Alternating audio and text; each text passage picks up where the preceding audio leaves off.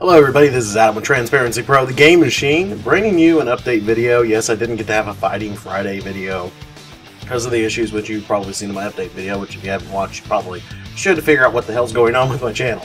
So, but yes, I'm here to talk about some actual fighting game news. If you like anime fighters, which I do like some anime fighters, here's there's more news for us. So there's actually though one of the announcements is more of a uh, release in Japan, which I'm hoping gets uh, to come over here. Also, the one announcement for the U.S. is that there was a game that's about to come out this summer in Japan. Actually, that's actually this month, um, called Under Night in Birth EXE Late. Yeah, it's a very strange name, but you know, it's whatever.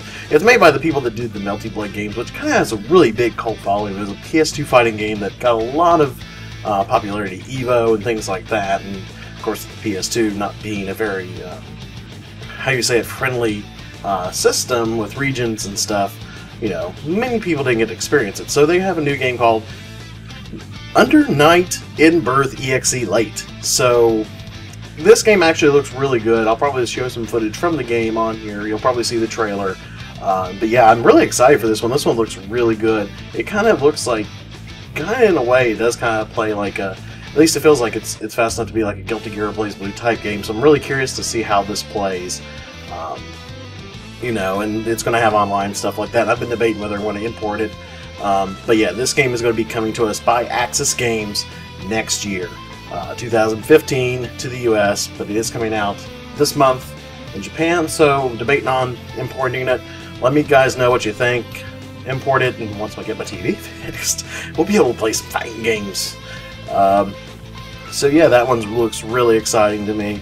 Um, also, apparently, too, that the Japanese port's getting two new characters, which, you know, most likely will come this way uh, as well.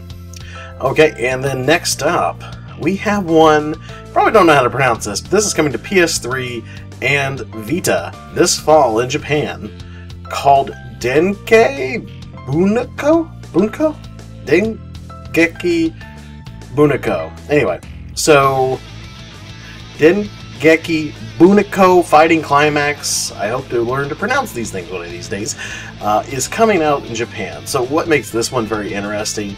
Uh, it's it's also made by the same people who actually uh, did uh, Melty Blood. So it's another French bread developed game, uh, which I don't think we've ever had a release of them here.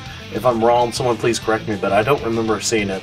This one's a very interesting one. This one kind of makes me think a little bit of either CVS2 or, or Marvel. Capcom 2 where you have assist characters. I don't know a ton of it because I don't speak Japanese. I haven't been following this one closely, but what's really got me interested in it is because I love Sword Art Online and I know some people don't really care for that anime, but it has characters from that game, and there's, I guess, some other comic series from this smaller, um, or actually they're called light novels, which I'm assuming is kind of like, you know, kind of like, I guess, teenage fiction, things like that, but but you know, I really like Sword Online. I thought it was a really good show, and the characters in it's going to make it interesting. So, um, yeah, there's apparently other uh, characters that's going to be in it. And there's even going to be stages. If you're a Sega fan, uh, since Sega has something to do with this. Uh, if you're a Sega fan, it's going to have Virtual Fighter stages in it. So you're going to have Akira's, um, Pai's stage is going to be in it. Um, also, let's see. Apparently, um, oh, actually, I'm, I'm actually staying corrected. It's not the stages; they're actually the final bosses. Those two are the final bosses. You fight Virtual Fighter character as a final boss in a 2D fighting game. It just sounds insane to me, and it's one of those games I definitely want to want to play and look more into, and I can show some footage on that.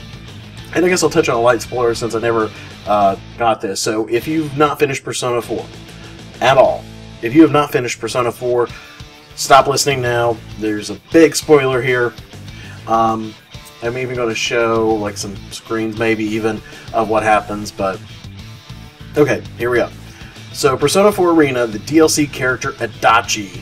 That's right, everybody's favorite homicidal dick of a cop is apparently busted out of prison. He's infected in the dark hour, and he is actually been announced as first week DLC for free. So in Japan, he's pre-order DLC here they're actually doing it within the first week. After that, he's paid, which is kind of cool. You don't have to pre-order, but you do have to make sure you get it within the first week, so you don't have to worry about codes or anything like that. You just have to go in the store and download it. So that's kind of cool that they're uh, doing that. So.